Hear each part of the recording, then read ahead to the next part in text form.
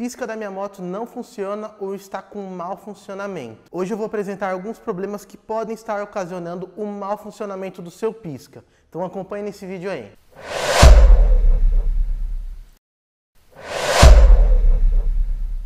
Ter o pisca da sua moto funcionando é fundamental, pois garante a sua segurança no dia a dia. Então, antes de você pilotar, sempre confere se está funcionando perfeitamente. Tanto pisca, farol, lanterna, é muito importante você estar verificando. E hoje eu vou apresentar alguns probleminhas que podem ocasionar o mau funcionamento do pisca. Normalmente, quando um pisca para de funcionar, pode ser o problema na lâmpada.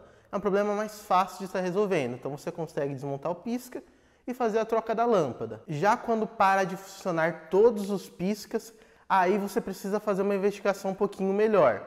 Então, antes de você sair trocando peça, verifique se só os piscas pararam de funcionar. Verifique farol, verifique a lanterna. Por quê? Se outro componente também parou de funcionar, o problema pode ser o fusível. O fusível é essa peça pequenininha, se ele queima, não funciona. Então é importante você estar verificando essa peça.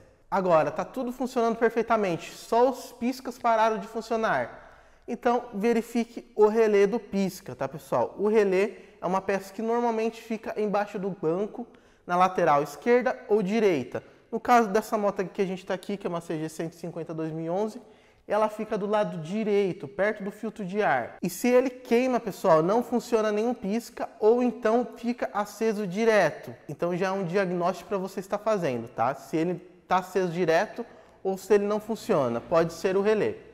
Outro ponto importante também que acontece bastante é o punho, pessoal. O punho, ou ele pode ter um desgaste certo nos botões, pode ter também fio rompido, então é importante você verificar. O punho você consegue desmontar, fazer um jump ali, ver se vai funcionar, ou até mesmo pegar uma outra peça para fazer o teste, tá, pessoal? Então é muito importante você estar fazendo essa investigação. E também o que pode ocorrer, pessoal, é a quebra de fios do chicote. Isso também, pessoal, ocasiona problemas na parte do pisca, tá? Então verifique aí o chicote para ver se está funcionando perfeitamente. É importante você verificar por essas etapas, tá, pessoal? Antes de você já sair comprando a peça, trocando, então analise certinho qual que é o problema da sua moto. E uma dica muito importante, pessoal, se você for trocar peça de parte elétrica, coloque peças de qualidade. Aqui a gente está com a Zoyu, é uma marca que investe fortemente, tanto nos punhos, tanto em relés, quanto outras partes de parte elétrica. Esses punhos aqui, eles aguentam chuva, ele tem os botãozinhos que não desbota com o tempo, então um diferencial super bacana.